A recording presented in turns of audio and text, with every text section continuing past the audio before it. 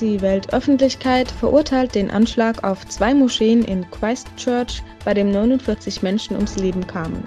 Zu dem grausamen Ereignis äußerte sich der Präsident des East Turkestan Information Center.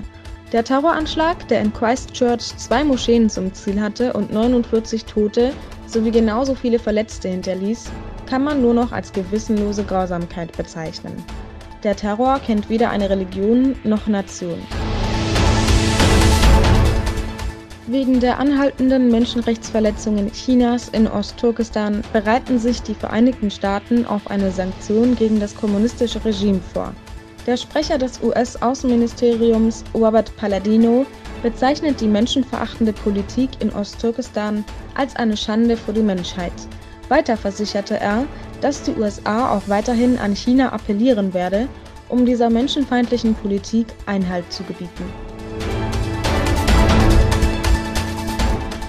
Bei der Sitzung für Menschenrechte der Vereinten Nationen in Genf behauptete Chinas Außenminister Lei Yunxing, dass die sogenannten Ausbildungslager in Xinjiang unentbehrlich seien.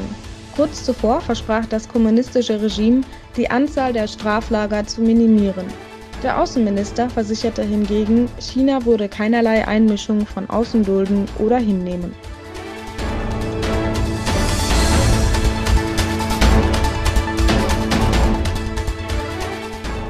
Wie das Indo-Pazifik-Kommando der Vereinigten Staaten verlautbarte, soll ein B-52-Bomber ausgestattet mit nuklearer Angriffstechnik einen Übungsflug im südchinesischen Meer durchgeführt haben.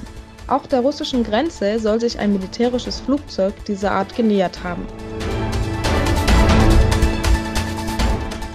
Rund 310.000 Schüler marschierten am gestrigen Freitag in Köln, Berlin, München, Aachen und anderen Großstädten unter dem Slogan Fridays for Future auf den Straßen, um gegen die Klimapolitik der Großen Regierungskoalition zu demonstrieren